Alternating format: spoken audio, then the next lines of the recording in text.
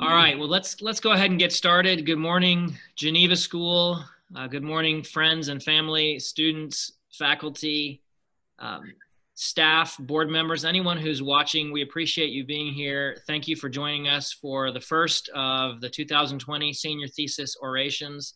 Always an exciting time, uh, particularly exciting this year uh, for for some reasons we wouldn't have expected uh, a couple months ago.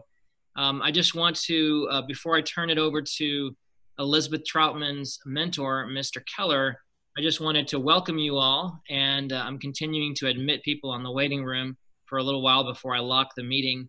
Um, I just wanted to say thanks for being here. I wanted to remind you that this this process, the senior thesis process, began uh, way back in the fall when students chose topics that they thought would be um, topics of current interest where they might be able to talk about something that might make a difference. And uh, it's been a long and, and, in some ways, grueling process for them. Um, the senior year in rhetoric and Christian thought begins in the fall with a short, a short ceremonial speech at the country club in front of family and friends and board members. And uh, that's a that's a more informal um, speech. This is a more academic exercise, and the students have really, um, really worked hard at it all year long. So, uh, briefly, the senior thesis is a, is a significant paper that the students, um, where they pay attention to all the things we would expect of a, of a serious college level paper, the kinds of research, the kinds of familiarity with sources, the kinds of documentation and citation conventions uh, to put together a strong, strongly argued um, deliberative thesis. That is one that argues for some kind of action on a question of contemporary importance. Uh, and then the students take that senior thesis and they present it as an oration. They have a chance to present it before the public so that the public can hear what they have to say and also ask questions, clarify things, perhaps even challenge them on, on some of their arguments to help them refine their arguments. So that's the process that we begin today. I'm thankful that Elizabeth Troutman is going to start us out. Uh, she's been dedicated and brave throughout this process, and I'll let Mr. Keller tell you more about that. Um, I just want to mention a couple protocols. We've never done this before in this way. Um, and quite apart from the technological difficulties, uh, we all know that this is a, a very um, nerve wracking thing for most people just to stand up uh, in front of others and speak, much less to speak for uh, extended time and then answer questions. So uh, just be gracious with the seniors. Uh, they have worked really hard. I think they're well prepared, but they've also had unique challenges this year, as you can imagine. Uh, when the, the crunch time for their thesis, where they would have been meeting in person with their mentor and their teacher and having the support of their classmates in the room with them as they practiced, they haven't had access to those things in the same way. So ask that you extend them a special grace. And um, I'm really looking forward to seeing how this goes and hearing Elizabeth's argument. So I'm going to turn over uh, the, the, the reins, so to speak, or the screen to Mr. Keller. And after Mr. Keller introduces uh, Elizabeth, she'll speak. And while she's speaking, uh, or toward the end of her talk, you are welcome at any time to send questions via chat to me, the host, Nathan Rayleigh.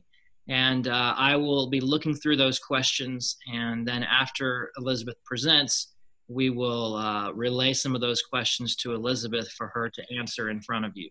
All right, Mr. Keller. Thank you, Mr. Rayleigh. So good morning, everyone. And I want to thank you for being present today for Elizabeth's presentation. I am excited for you to hear what she has to say today. She has been a delight to work with this year. She is passionate about her thesis. She has worked hard, she's done her homework, she has stayed organized. I'm sure none of those things are surprises to those who know her well. But the thing that has impressed me the most about Elizabeth this year has been her, her repeated expressions, her, her repeated concern to me that her thesis be helpful, that her thesis be helpful to her classmates, that her thesis be helpful to uh, the lives of her audience, that her thesis be helpful to her as she thinks about what she wants to spend her life um, arguing for and the areas that she wants to serve in as she moves on from Geneva. Um, she wants to be useful, she wants to be helpful, she cares deeply about her thesis, and she cares deeply about all of her classmates. um, and her teachers. So her level of care has deeply impressed me, and I hope it impresses you as well. Again, to reiterate, if you are watching on Zoom and you have questions for Elizabeth after she finishes presenting, then you want to type those questions in the chat box and direct them to Mr. Rayleigh. And I'm going to invite you now to pray along with me, and then Elizabeth will come up. So, Father, thank you. Thank you for the unique challenges this year, um, because I think that through these unique challenges of, of not being able to see each other as often, of not being able to actually be together, of having to work over, over Zoom, that, that you have been at work in us, through us, to continue to refine our character. And I think that has been the case for Elizabeth as well. And so I'm grateful for that, even though it has been different and it has been hard. And I ask that you would use her now to challenge us and to encourage us and to sharpen us, and that you would be at work in her to grant her grace um, to be able um, to speak clearly and persuasively. We thank you for this time, and we pray all of this in the name of Jesus. Amen. And so now I ask you to give your full attention to Elizabeth as she presents her thesis Pro Life is Pro Woman, a new feminism for a changing world. Elizabeth? Hi, guys. Thank you for zooming in. Um, if you can see me okay, go ahead. When accepting her 2020 Golden Globe Award, Michelle Williams attributed her successful career as an award winning actress to her abortion, saying, I wouldn't have been able to do this without employing a woman's right to choose, to choose when to have my children and with whom. In contrast, consider the story of Caitlin Dixon, a woman who chose life for her child as a high schooler and now has both a successful career and a beautiful five year old son. When Caitlin was 16, she discovered she was pregnant. Her mother told her a child would interfere with her future and scheduled an abortion appointment at Planned Parenthood. Caitlin received an ultrasound in which she saw only the top of her son's head, but that was enough to compel her to walk out of the clinic. The summer before her senior year, she gave birth to a son, Caden, whom she describes as the love and greatest joy of her life. After graduating high school, she attended college full time and worked nights while raising her son. She graduated with a double major a year early and now serves as executive director of Iowa Right to Life, lobbying for legislation that protects babies like her son and women looking for support in desperate situations like herself. Caitlin speaks of her experience saying, I was told by so many people that choosing life for him would be the end of mine, but it was the beginning. The key difference between these two women is that in Michelle Williams' story, a woman achieves fame and fortune supposedly because of the termination of her preborn child, while in Caitlin Dixon's story, a woman finds her strength by realizing she does not have to choose between her dreams and her son, and chooses life while pursuing an education and career she loves. Here's the question Which one of these stories is truly more empowering? Planned Parenthood performs one abortion every 97 seconds, 887 per day, and 300,000 per year, reaching a total of 345,672 in 2018. They perform abortions at 160 times the rate at which they refer adoptions. Planned Parenthood accounts for about 40% of abortions in the United States. According to Planned Parenthood's research branch, the Guttmacher Institute, abortion led to a total of 862,320 deaths in America in 2017. Since the legalization of abortion on demand in 1973, over 54 million preborn children have been killed. In today's society, it is clear that the abortion movement is deeply interlaced with the feminist movement. Women's rights advocates during the 2016 presidential race proclaimed reproductive rights to be the election's primary issue for feminists. However, the shocking connection of a pit of feminism and abortion is little known, as the first wave feminists fought for equal pay, equal opportunities, and equal respect, seeing abortion as oppressive to women and children. Women's suffrage advocate Elizabeth Cady Stanton said, when we consider that women have been treated as property, it is degrading to women that we should consider our children as property to be disposed of as we see fit. Towards the end of the first wave in 1916, Margaret Sanger opened the first birth control clinic in the US, which would later become Planned Parenthood. Though Sanger herself opposed abortion and feminism has clear pro life foundations, the pro abortion rhetoric of the sexual revolution became deeply integrated into the feminist movement in the second wave. With her best selling book, The Feminine Mystique, the second wave leader, Betty Friedan, encouraged women to seek jobs outside of the home, drawing attention to the problem with no name the belief that women could only achieve happiness through being a wife and mother, voicing the feelings of millions of women who desired social equality.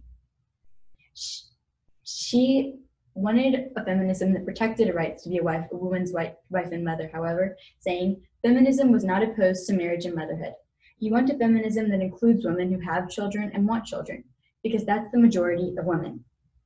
She was pro life until two men, Larry Lader and Bernard Nathanson, convinced her true equality for women could only be achieved through the legalization of abortion by grossly exaggerating the number of illegal abortions occurring. However, Lader and Nathanson's intent was not to protect women, but to provide a way for men to avoid accountability in lieu of the sexual revolution's push for bodily autonomy. Due to Lader Nathanson's influence, feminism was transformed from a movement of equal rights to the belief that women are best equipped to achieve success if childless. Today, feminists claim women cannot be equal unless they can choose when and with whom to have children, but they ignore the rights of the preborn woman who cannot choose to defend herself. This betrays what it means to be pro woman, as it ignores the thousands of women whose lives end before they begin. Unfortunately, abortion laws are becoming more and more radical each year. For example, in New York, last year's Reproductive Health Act legalized abortion up to birth enabling the dismemberment and termination of fetuses who can feel pain. A movement which values the rights and dignity of all women is the only way to stop the steady depletion of the rights of the preborn. Abortion must stop being sold as a woman's only way to success. And a new feminism must arise, which coincides with the pro life movement, so the two can join together to promote equal rights for all women, in and out of the workplace and in and out of the womb. Feminism must return to its pro life roots because true feminism fights for the rights of women from conception to natural death. This is seen in the science of life, the anti woman legal history of abortion, and the pro profit nature of Planned Parenthood. While original feminists defended the rights of mothers in the workplace, current feminists tell women the only path to success is through aborting the clump of cells hijacking their life. The science of embryology establishes that at fertilization, a new life is created in the form of an embryo who is distinct, living, and whole, and thus deserving of rights. This is affirmed by many leading embryologists and even by Planned Parenthood. The developing human, clinically oriented embryology reads A zygote is the beginning of a new human being. Human development begins at fertilization, which marks the beginning of each of us as a unique individual. Embryologists Ronan O'Rahilly and Fabiola Mueller agree. Although life is a continuous process, fertilization is a critical landmark because a new genetically distinct human organism is thereby formed. In addition, philosopher David Boonin, author of A Defense for Abortion, argues that adults are the same beings as the embryos from which they originate. Even former Planned Parenthood president, Dr. Alan Guttmacher, recognized this reality, saying, We of today know that man starts life as an embryo. Since those on both sides of the abortion debate in the scientific community recognize the humanity of the fetus, the preborn ought to be entitled to equal protections to life, liberty, and the pursuit of happiness under the 14th Amendment. Half of abortions in the lives of preborn females, causing abortion to be the grossest imaginable violation of women's rights. Conception marks the beginning of human life, which makes the methods of abortion all the more dehumanizing. According to former abortion provider Dr. Anthony Levatino, there are four common types of abortion. The first trimester abortion pill prevents the developing baby from getting the necessary nutrients, thus starving her to death. In a first trimester suction aspiration abortion, a suction 30 times as powerful as a household vacuum rapidly tears the baby from the uterus. In a second trimester D&C abortion, the abortionist dismembers a 13 to 24 week old slims from her torso. She has all her organs and body parts. Two credentialed doctors, one pro choice, concluded from the research that fetuses can feel pain even as early as 12 weeks, and certainly by 18 weeks. In a third trimester induction abortion, the baby is injected with poison through a long needle, ending her life. Though the baby is old enough to survive outside of the womb with proper medical attention, at just 21 weeks, she is delivered dead. Abortion not only strips the fundamental right to life from some of the most vulnerable members of the human race, it also damages the mental well being of the mother undergoing the procedure, as she recovers from having ended the life of her child. Post abortion syndrome, or after abortion grief, is a form of PTSD due to a mother's genetic instinct to protect their child at all cost. After an abortion, researchers have reported that most women feel relief before entering a stage identified by psychiatrists as post-abortion numbness. Studies within the first weeks after an abortion have found that between 40 and 60% of women questioned reported some negative reactions. This demonstrates that abortion not only violates the rights of preborn humans, but is also harmful to the woman undergoing the procedure. Secondly, the legal history of abortion in America demonstrates that it is not pro-woman. In the 1973 decision, Roe v. Wade, the U.S. Supreme Court ruled that the right of privacy is broad enough to encompass the right to abortion. The court held that states could issue virtually no regulations on first trimester abortions and some regulations on second trimester abortions, but only for the purpose of protecting the mother's health. In the third trimester, when the child is viable, the court ruling allowed states to proscribe abortion or make it illegal, contingent on the existence of exceptions to protect the life and health of the mother. The argument of Justice Harry Blackmun, writer of the majority opinion, rested on the precedent that a woman's right to choose is covered under the right to privacy, which originated in the 1965 case Griswold v. Connecticut, where the Supreme Court ruled that certain state restrictions on contraception were unconstitutional, as they violated a married couple's right to privacy. It was found that the right to privacy for the acquisition of contraceptives was protected by several penumbras, or shadows within amendments to the Constitution that are necessary for other rights to function. In Eisenstadt v. Baird, the right to privacy for the acquisition of contraceptives was extended to unmarried people.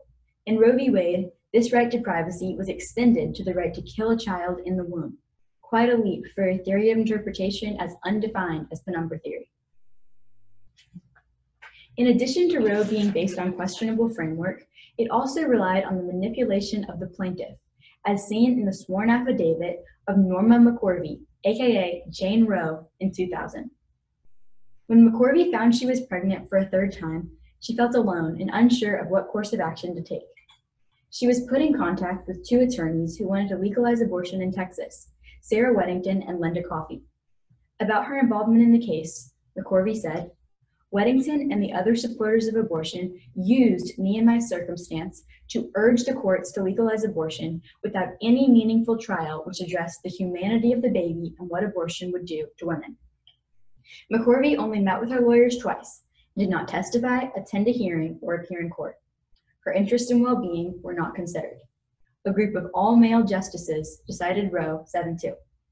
At the end of the affidavit, Norma describes the abortion business. The clinic workers suffer, the women suffer, and the babies die.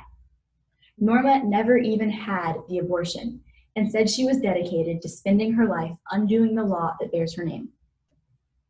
Issued on the same day as Roe v. Wade, Doe v. Bolton defined the health of the mother as all factors that affect the woman, including physical, emotional, psychological, familial, and the woman's age, thus legalizing abortion on demand for all reasons. Similar to McCorvey of Roe v. Wade, Sandra Cano of Doe. Bolton did not want an abortion, nor did she have one. She was seeking legal help to get custody of her children while pregnant with her fourth child and in the midst of a divorce when her lawyer, Margie Pitts Hames, tricked her into signing the affidavit, which formed the basis of the plaintiff's charges in Doe. Cano was very poor, but terminating the life of her child never crossed her mind.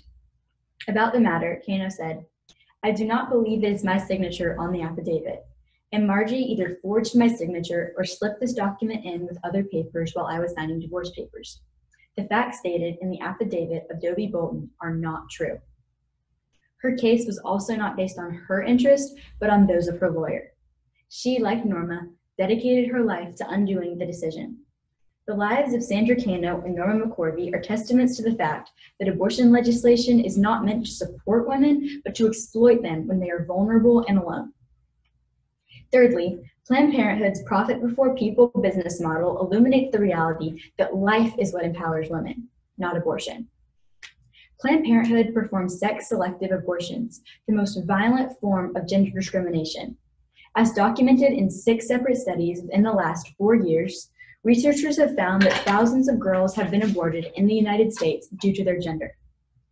In addition, Planned Parenthood alleges that only 3% of the services they provide are abortions, when in fact, one in eight patients receive abortions.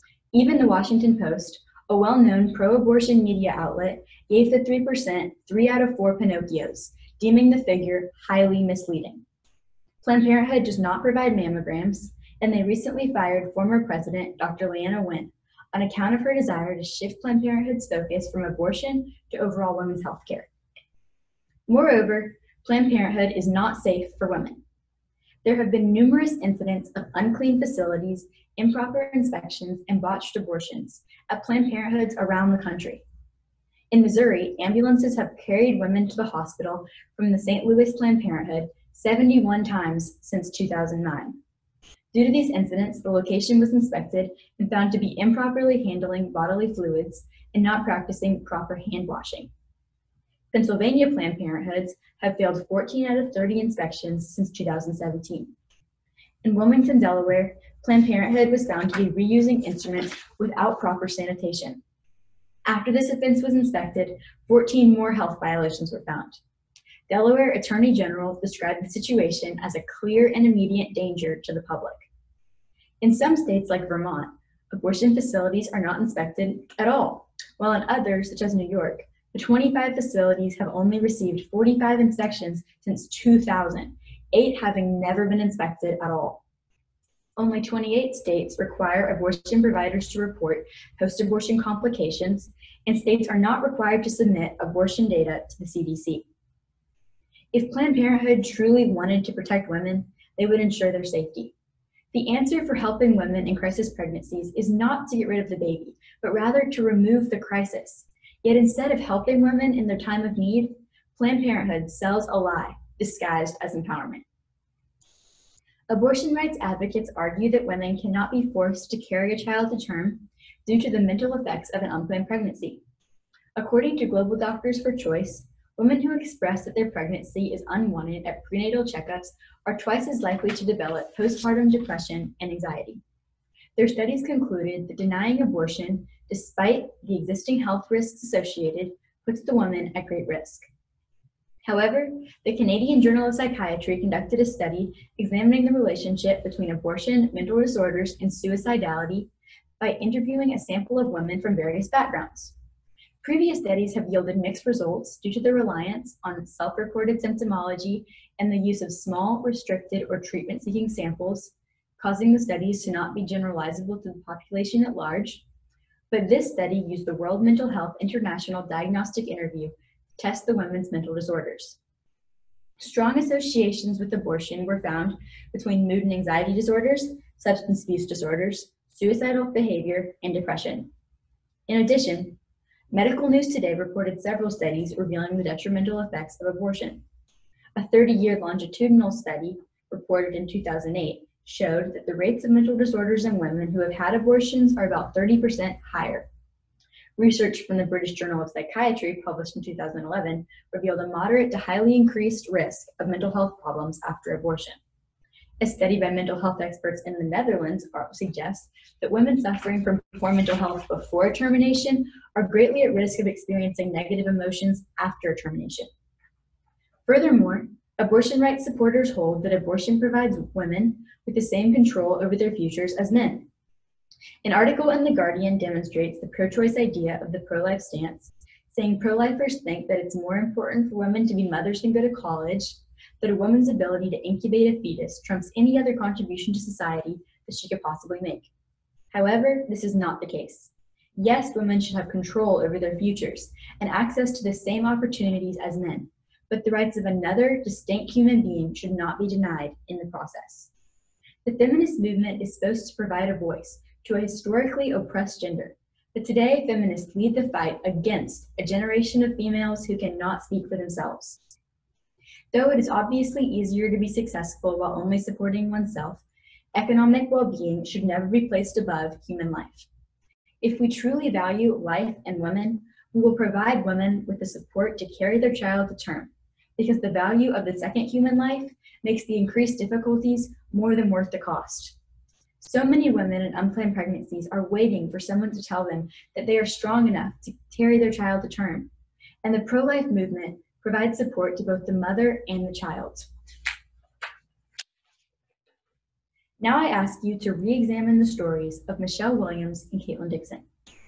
I have established that the rights of even the smallest and most helpless women begin at conception, the dual victimhood of abortion as both the mother and the child are hurt, the origins of today's abortion rights movement and the exploitation of women, and the evidence that Planned Parenthood values profit above women. Which sounds more empowering? Telling women success is too difficult when pregnancy interferes, or telling women they are strong enough to choose life as well as choose their career. Feminism as it is cannot stand. It must be reconciled with its roots in order to protect the rights of women at every stage of life and level of development. To create this new feminism, we must start by recognizing the sanctity of life. The preborn must be rehumanized in the eyes of the American people. We must support crisis pregnancy centers and adoption agencies, which help women raise their child or place it in a loving home. Also, feminists must recognize the trauma of post abortive mothers and empathize with their pain. Instead of trying to make men and women the same by giving women a way out of pregnancy, feminists must recognize that what makes women different does not make them less capable, that equality is not synonymous with sameness. Caitlin Dixon, not Michelle Williams, is the empowered woman because she did not accept the lie that she was not strong enough. Instead, she fought to have both her child and her career, proving that we must not settle for a feminism that tells women what they cannot do to save feminism and restore its original purpose of empowering women by providing them with equal opportunities and celebrating all they are capable of, members of the pro life movement must take back the feminist movement and return to where the early feminists left off in the fight for the rights of all women, both born and preborn. Thank you.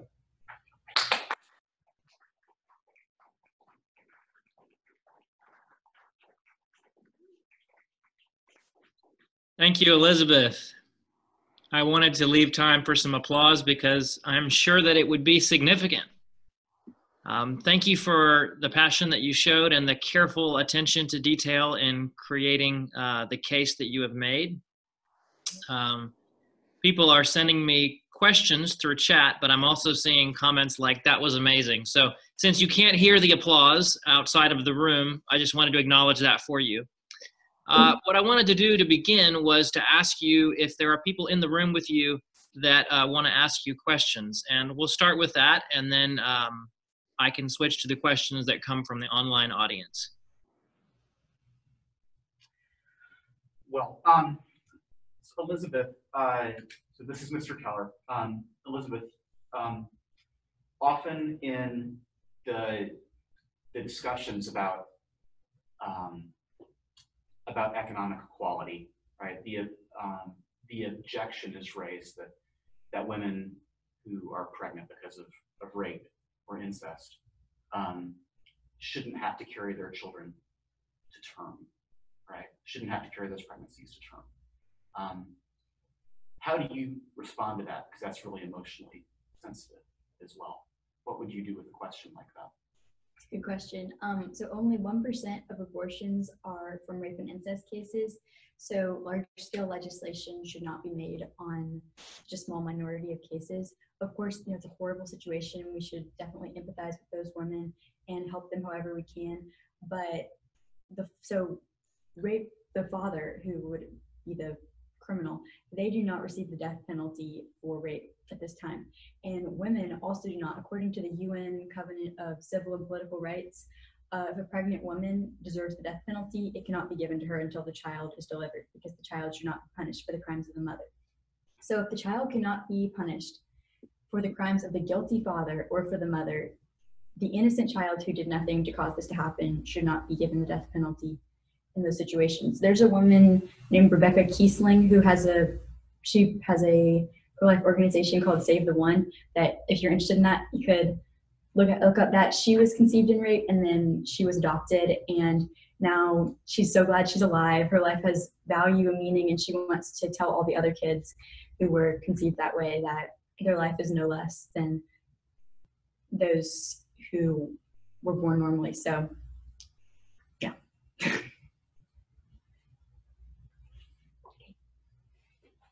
Mr. Hmm. Elizabeth, our culture seems to love to make decisions and national policy based upon the assured results of science. In this instance of abortion, science has spoken very clearly about the dangers to the child, the pain and suffering involved in this, and has just exposed, you know, so much that would seem to side on the side of, of life.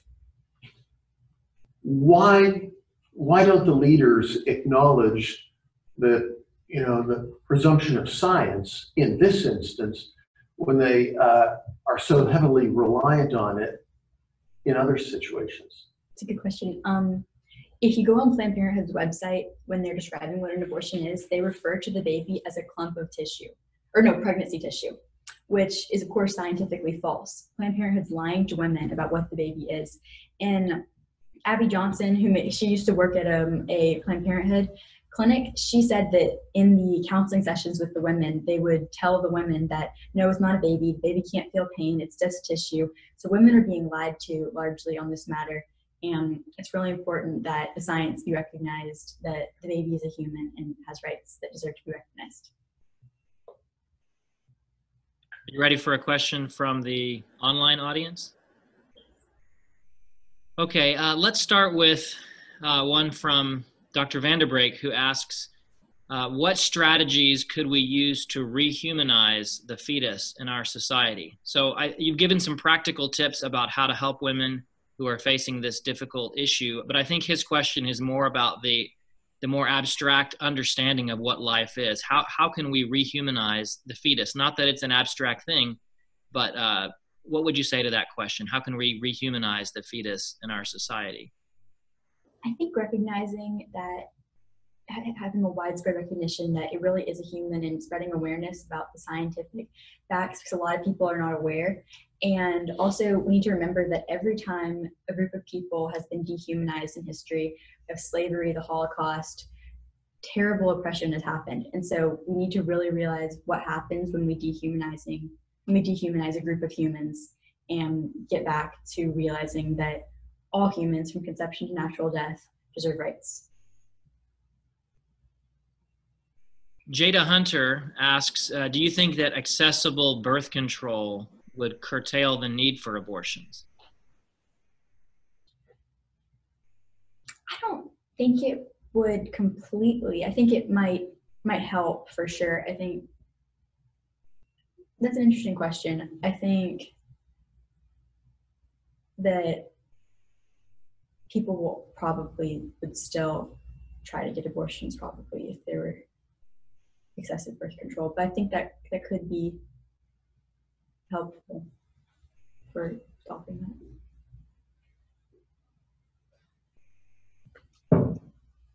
Uh, another question from one of your classmates, um, Abby Rudolph asked uh, early on, uh, she said, I'd love to know what sparked your passion about this subject. Um, I've always been pro life, but I went to a dinner about last January, and where Abby Johnson spoke about her experience in an abortion clinic and with abortion having two, I think, and how much that had hurt her and how she had seen that hurt women and clinic workers, and that really made me feel like I really had to do something about this to help the fight to protect the preborn.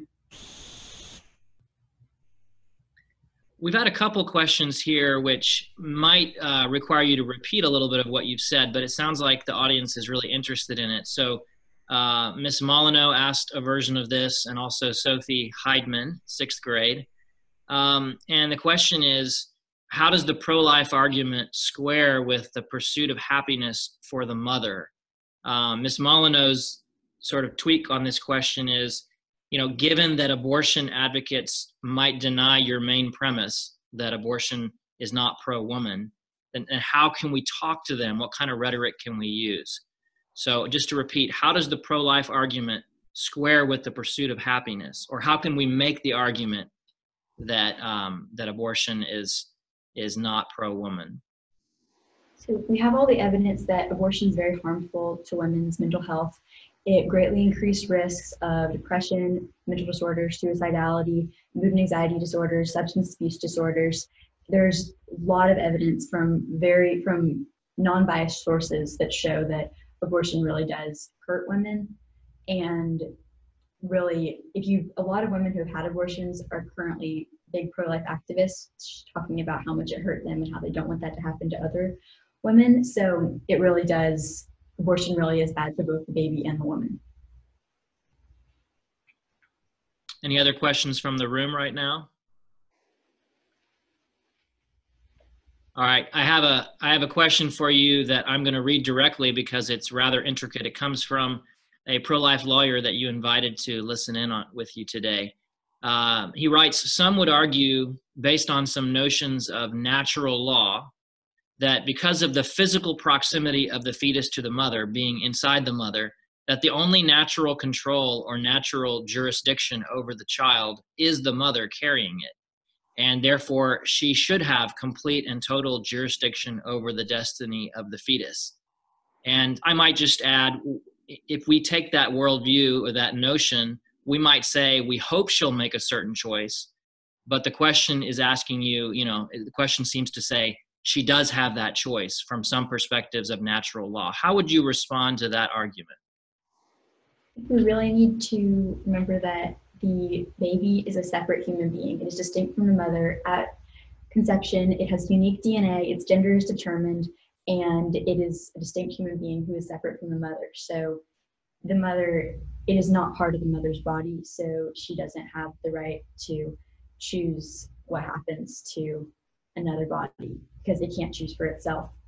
And if it were able to make that choice, then that would be different. But she needs to not make a choice for a separate body. She could only choose what to do with her body. Does that answer the question? I think so. Uh, the, the, the questioner says brilliant, so I'll take that as a yes.